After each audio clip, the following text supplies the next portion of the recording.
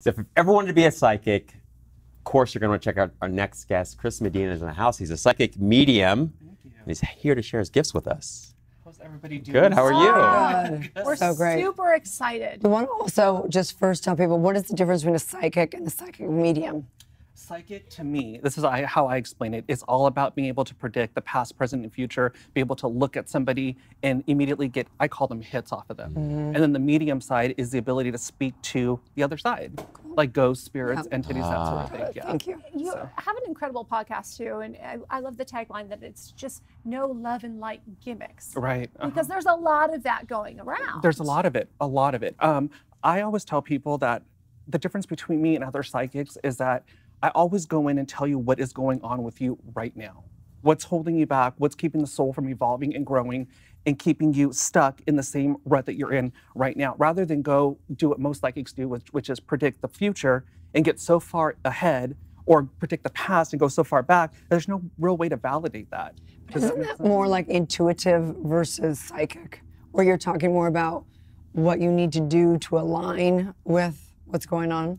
Well, I like to incorporate the intuition with uh, what I see coming in the future for that person. So again, working on what's holding you back right now, because everybody, again, to have to get a psychic reading and have somebody tell you, "Oh wow, like in two years you're going to win the lottery, or going to get in this big romance." Well, we have to sit here and wait. I want to talk about what we're doing in the meantime before we get that prize. Does that make sense? Yeah, it does. When did you first discover this gift? Um, ever since I've had it ever since I was born. Really? Yeah. And so, So- how does it show up for you? What is it like? What's the experience like? a lot of people ask, like, do you know, people, psychics say, oh, my guides tell me. I only started using the word guides when I started coming out in public with this. Hmm. So it's just like a thought that comes in or a picture, like a Polaroid snapshot of what's coming. Wow. Okay, well, we want some readings. Okay. Start with We've had Erin. lots of readings. All right. We've had lots of readings, and it's been really interesting how similar the readings for the three of us have been on the show. right? Yes, It's fascinating. okay. So who wants to go first? Erin. Yeah. She always wants to go Erin- first. no, she's Okay, there. all right. Um, I would say for you right now, the biggest thing is making sure that you're taking a step back and really, I know that you're a doctor, right? Dr. Divinity. Okay. Um, taking a step back and going within and allowing yourself the opportunity to kind of check in with yourself and let go of not really old ways of thinking, but stress. Does that make sense?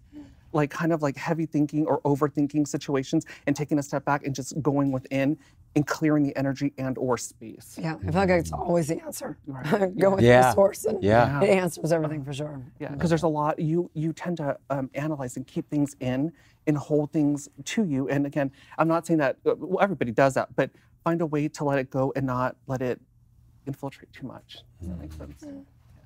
Who's next? Powerful. Me. sure. Good news only. You, with you, I've I immediately got hits off you when I first walked in. I didn't see you till afterward, or in you as well too. But with you, it's all about taking a step back and seeing where you're at when it comes to your career, because there's a lot of there's a lot of push to go obviously above and beyond to get bigger and better here. But I don't think that you're taking a step back and realizing where you're at right now. Does that make sense? Sure. Mm-hmm. Absolutely. So again, I just uh, with you, it's not only speaking the confidence out loud, but projecting it inward as well. Yeah. Powerful. You got a producer, Andy Waldman. You want to do him next? you can do me. It's okay. He doesn't want to be. Um, with you again it, it- it's all career based here with everybody everyone's everyone's trying to figure out how do we get to that next level i think with you i do see um, i'm not saying that opportunity is not going to come in for all three of you but with you i feel like there's two good opportunities coming in before august leaves Mm, I love that. I'm gonna keep my so are you phone working on, on me. something new Yeah, I'm gonna put that back on vibrate or something like that because I can't leave it on silent. I might miss something. yeah so it's it's, it's very career based and again with you uh, it, you just with you specifically it's i can hear your thoughts it's a lot of heavy thinking It's profound. So when you were having this experience first as a child, and you know, ever since you remember, you've had this gift, obviously. Was it hard to embrace it and then share it, or did you always feel really comfortable with the gift itself and with sharing it with others? I never would have thought to call myself a psychic medium growing up. But everyone was like, "Go to Chris. Chris gives great advice. Uh, he's he's a good shoulder to lean on." But to call me a psychic, to the to, still to this day, it still feels foreign. But I've always had the ability, to, always the ability to go within and see people for who they are. Yeah. Has it ever scared you? The medium side scared The me medium growing side, up. Mhm. yeah. I think I was about Jet's age. Yeah. how- I don't know how old he is, but Yeah. yeah. when I first came into it, and it was a lot of feeling, a lot of picking up energies around me. We moved from an apartment into a brand new house, and that house had weird energy in it. Mm. So picking up on ghosts, and I used to watch a lot of scary movies. So my mom would be like, "Is it scary movies that are doing that to you, or is it, or, or you know, or, or are you imagining it?" Mm. And I'm like, I can feel it. I, I said, I don't know how else to explain it. My hackles go up, the hair on the back of my neck stands up. I could feel something in here. Oh, it's a totally different energy. It's a totally different energy. Uh huh. Really So I'm really wondering for you know myself and the viewers at home. A lot of the psychics have said we all have a level of this ability. Right? Mm-hmm. We're all born with an intuition, a gut feeling. What advice would you give for us to really kind of hone in on that within ourselves? Hmm. don't hold yourself back. When it comes to dealing with intuition, the intuition always comes forward and always wants us to get rid of what is holding us back. And that's what stops most people is they take it in and they realize that moving forward would cause me to have to deal with what I've been holding back and not wanting to let go of. So the first thing again, get rid of a bad relationship, uh, move, you know, change jobs. We all anything that makes us feel uncomfortable, we shy away from. Does that make sense? Totally makes sense. Absolutely. What would you say? You know, I think a lot of people um, maybe they feel they have a gifting in some way or the other. I think we all have, you know, signature sort of unique gifts.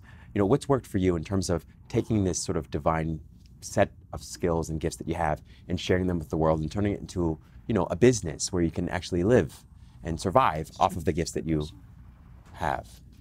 My approach when it comes to the psychic stuff is always you do your own work. I can predict your past, present, and future, but I can't bring you in to your future kicking and screaming. Mm. So it's always making sure that that person is always in control of their path and their destiny. A psychic can come in again, pro- provide that insight, but it's up to you to walk, mm. for you to put the work in, for you to take the time to invest into yourself. Mm. Wow. So please tell everyone where they can find follow you and work with you. Uh, feel free to visit my website, chrismedina.guide, uh, social media at psychic chris m, Instagram, Twitter, and Facebook. Fantastic. Thank Thank, you you so so much much. Oh, and the podcast, In Your Head podcast. Oh, in your head. Podcast. In Your Head In Your Head podcast. podcast. Yeah. Back with more of the morning model and.